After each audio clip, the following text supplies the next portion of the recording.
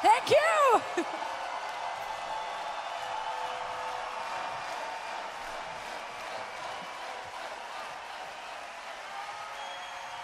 Are you ready to dive into Nightwish's history with us?